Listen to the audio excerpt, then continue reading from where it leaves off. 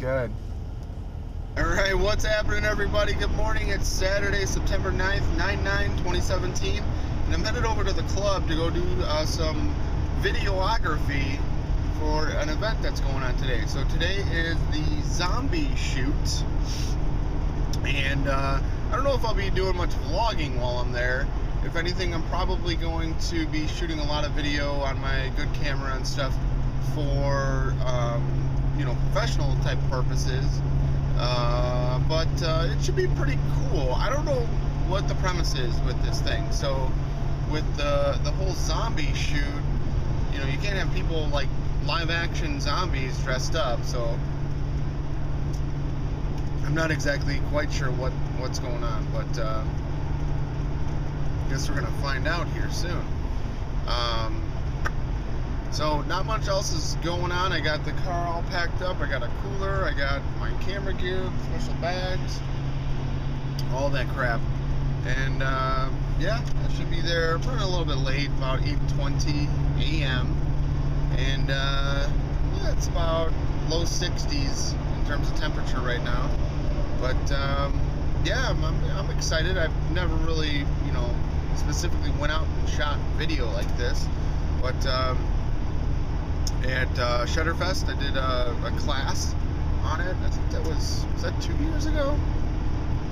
Yeah, yeah, two Shutterfests ago. But uh, I mean, technically, it was like a year and a half ago. But um, so I mean, it is what it is. I'll, I'll figure it out. So that's about it for now. Stay tuned for more. All right, so it appears as if I'm like mega late. So it's almost 8:20 and I can see just the absolute immense setup that they have as I'm driving in from afar. This is going to be crazy. So it's probably not going to show up on camera, but I can see all the cars glistening, the sun catching up. Looks like they have massive tents set up. Um, just all kinds of stuff going on. Um, I just remembered that one guy said that they have like a vendors area where the vendors can set up um, shop and stuff. So it's gonna be um, madness. So try to have some fun here and uh, stay tuned for more. As long as they are unloaded, magazine out, hammer down, and chamber empty. Holstered revolvers are permitted as long as they are unloaded, hammer down, and cylinder empty. All holsters must be commercially manufactured, securely hold the firearm, and completely cover the trigger. No firearms may be handled anywhere except on a supervised shooting stage.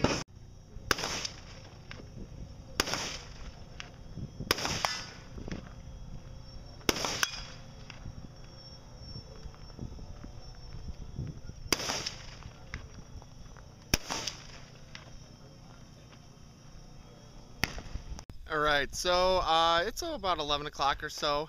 Day's going well. It's nice and breezy out. Uh, not too hot, not too cold. And uh, I've been shooting probably about two hours, maybe three hours, handheld uh, monopod video and audio. I'm gonna try breaking up this bad boy. The only problem is it's a little bit windy, so we're gonna see how well this works here.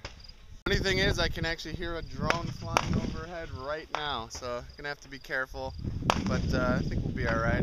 So, uh, yeah, stay tuned for more. All right, so I'm just doing like a generic pass over everything, the whole compound. So I got my remote and monitor here. It's probably not to show up. Drone is above me, and uh, as I walk, it's following me or walking with me, just above me. This is working. It's a little bit windy, so we'll see. Okay, so this uh, stage here, there's two shooter boxes, and it's a race. So they're starting typically from the center and shooting out. So there's uh, five targets each, and everyone's been basically doing pistols and racing. So the first to get all five down, they're just steel targets, and it looks really fun.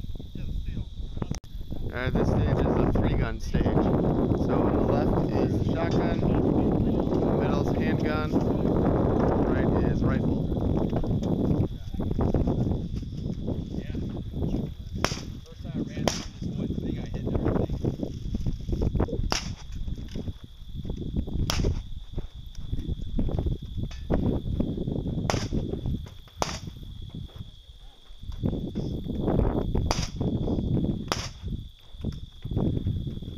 some drop down, knock down targets, some steel in the middle. And then over here you got some clays. This stage is run and gun. I think it's all handgun.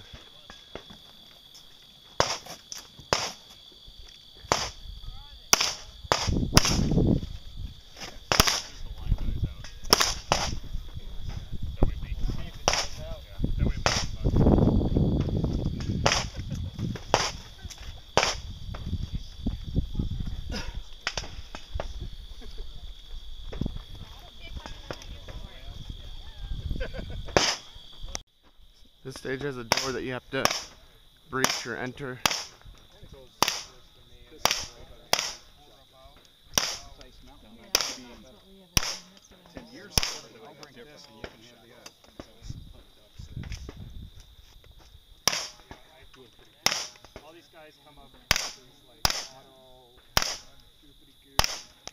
All right, so uh, so far so well.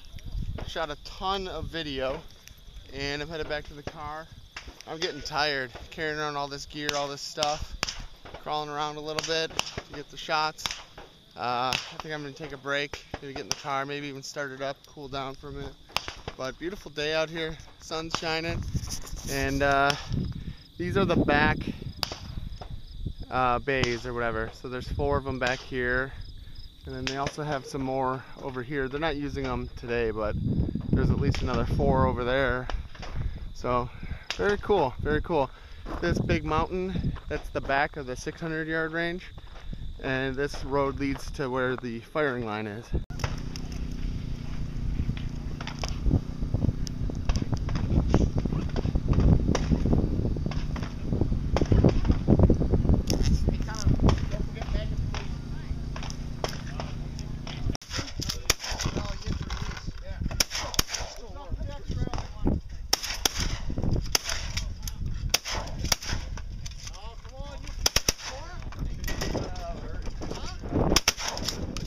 Yeah, all right, and you're gonna hurt the same. Whether you shoot it tomorrow, you're gonna hurt the same whether you shoot this or not.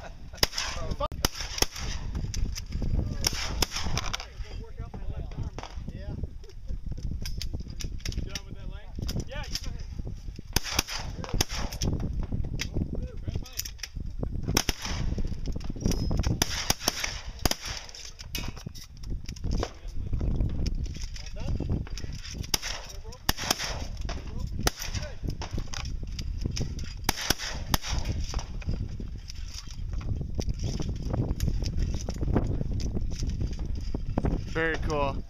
All right. So what do you think, guys? Quite a bit of fun, huh? I will say I saved myself a bunch of money by volunteering versus shooting today. It was uh, $80 for admission, and then you had to bring all your own ammo. Uh, I heard some people say they shot four to 500 rounds. Um, the Crazy Quail, that was that machine that was throwing the clays everywhere in the air and stuff, and the guys are shooting with the shotguns. They were um, letting you use their shotguns if you wanted, and they had um, X-Fire modded shotguns. Excuse me. They hold 25 rounds, and they, uh, which is a box of shells and you could shoot through them. I think he said in like five seconds if you wanted to. Like if you wanted to just rapid fire, you could empty that thing all 25 rounds in like five seconds. Um, 12 gauge that probably would kill your shoulder though if you did it that fast.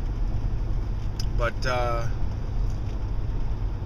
very cool, very unique um, machine. You know, I had heard someone uh, they, they mentioned it talked about it, but I had never seen it before. So, and I couldn't remember the name because I wanted to Google it and kind of check it out and see what it was. I bet you there's a way to turn that thing up to like full speed, and it would be just insane. There'd be clays going everywhere. so I think they said it holds almost 2,000 clays on that entire trailer setup and the thing is just it's amazing it's it's just so cool to see. So the dude had a semi truck with a special custom printed trailer to carry that beast, and uh, I don't know. They must have had at least two pallets worth of clay. The, the, the thing holds one pallet worth, which is like six feet by four feet, six feet tall by four feet square pallet of uh, clays unreal, man. I, I was able to get in for some close photo shots and stuff of the thing and stuff, but I don't know. The the video and all that's fun. I, I probably should have piped the video right into my camera. Now I'm gonna have to go back and sync the audio to the video clips and stuff. Something like that I want to learn how to do and all that, but um, yeah, I don't know why I didn't just plug it right into the damn camera. That's what I should have done. So, uh, when I got there, I asked the guy, I'm like, what do you want me to do? Because he was like, oh, make sure you see me. I have some specific stuff. If you just go running around videoing and whatever, it's not going to help me. So, so I went up to him and he's like, hey, I need like B-roll footage. And I was like, okay. He's like, you know, like stuff for like the safety brief and all that. And I was like, oh, okay. So he's like, I want, you know, somebody uh, safely carrying a, a, a, shotgun and somebody um, safely, you know, unholstering a pistol or drawing a pistol and stuff. It's like, okay, I, all right. So uh, that's kind of what I did. But um, I don't know. You know, it is what it is. I don't know what he's doing. So, um, man, there are some complete badasses there. The amount of gear, guns, long guns, short guns, handguns. Fucking, there was guys carrying knives and shit. One guy had a tactical vest with a knife on his back. And uh, go ahead. So it was very interesting. I mean, there was there was leg holsters, there was um, gun belts, there was chest rigs. Um, people had communication systems um, that they're carrying around with them, uh, backpacks, drag bags, you name it. They had. I saw one guy, uh, well, more than one guy, but they had golf uh, bags, like rolling golf cart or golf bags that typically hold golf clubs. They had shoved all their long guns into that son of a bitch. So it was just funny seeing like where you normally put like the golf umbrella, they had a shotgun shoved in that pocket. So very cool. Um, it looked like a lot of fun. It looked like just everyone was enjoying it. Everyone had a great time. Um, I probably could have or should have gone around and gotten like some interviews of people talking about their experience doing it and stuff. But um, I didn't really. I don't know. I was getting tired, man. Just you know, I ended up walking around for like the last hour or two, just shooting stills and stuff. I was like, oh, this is kind of cool. But beyond that, man, I don't know. So I made it back to Vicky's. We were possibly going to go see Lateralus tonight. Lateralus is a Tool cover band. And if we do go that route, then I'm going to probably have to shower. I'm going to have to shower regardless. But I still got the entire car packed up with all my stuff, gear, and trunks full and all that. wonder if I'm sunburned. Feel sunburned. Baked. But um, yeah, I'm to cut this short. I'm tired, so stay tuned for more.